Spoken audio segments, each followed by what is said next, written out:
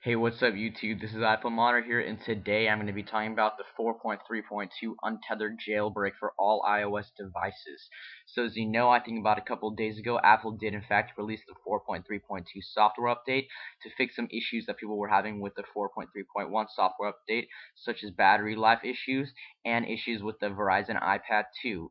So, of course, those issues were fixed, and I'm just going to show you an article here on RedmondPie.com talking about the possible 4.3.2 untethered jailbreak.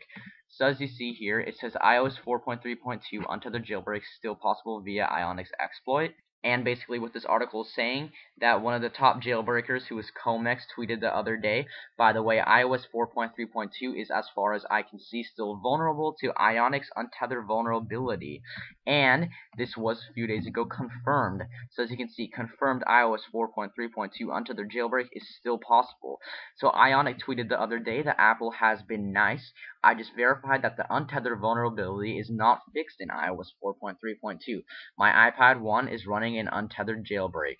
So this means that they just have to repackage the jailbreak to be compatible with iOS 4.3.2 and just launch it right up in Redsn0w and we'll have an untethered jailbreak I predict in about one to two weeks to do their basic testing.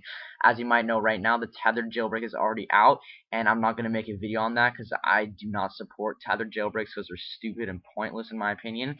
So once the untethered jailbreak comes out, I will be making a video on that. By the way, for you guys iPad 2 users, they will probably not work.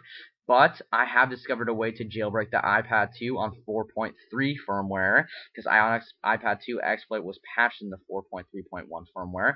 But I don't have an iPad 2 to demonstrate it on, therefore I can't really make a video on it yet. So I'm going to try to find a friend who has an iPad 2 so I can make a video about it. But I have indeed found a way to jailbreak the iPad 2. So if you want to see that video, and if you want to see the upcoming 4.3.2 untethered jailbreak, just like this video, subscribe, and ultimately have a nice day.